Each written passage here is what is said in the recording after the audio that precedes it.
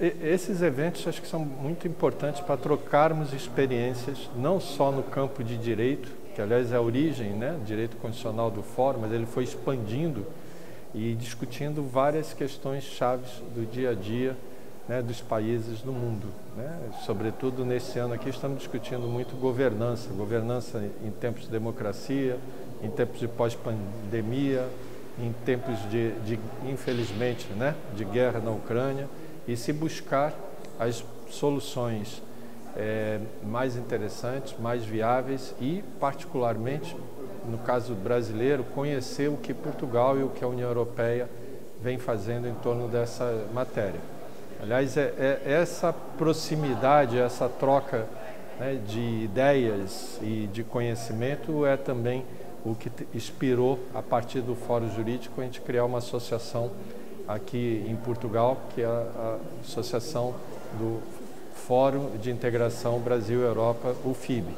Estamos apoiando aqui eh, este fórum e aproveitando a oportunidade para idealizar e organizar outros eventos futuros sempre dentro desse contexto.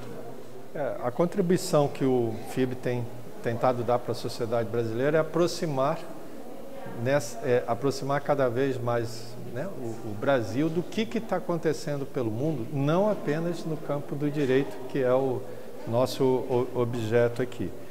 É, em setembro, o Brasil vai estar comemorando 200 anos né, da sua independência e nós, por exemplo, vamos estar aproveitando a, a data para realizar um evento aqui em Portugal para discutir os desafios da independência com integração.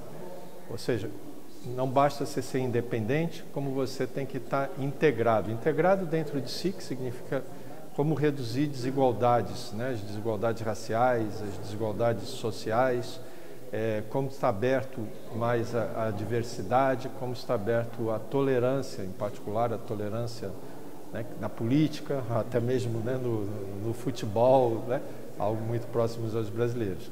E nós vamos estar fazendo isso tentando não só discutir o Brasil, mas, de novo, aproveitando 200 anos, conversando sobre Portugal, como que Portugal, né, e os portugueses veem essa situação e os europeus.